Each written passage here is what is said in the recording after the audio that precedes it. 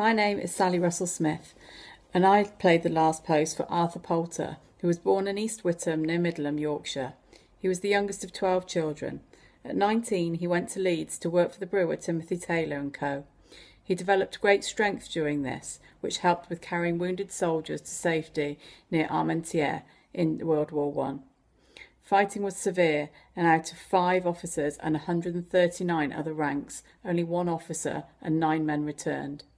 Arthur was awarded the VC for his bravery under severe conditions.